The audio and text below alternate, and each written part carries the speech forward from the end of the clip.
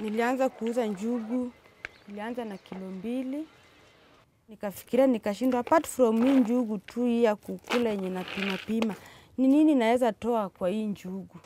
Kasema nitasiaga unga. Wakati nimechukua mkopo wangu wa 150 tena nikafikiria nikasema, apart from unga naweza fanya nini tena? Nikaona naweza tengeneza peanut butter.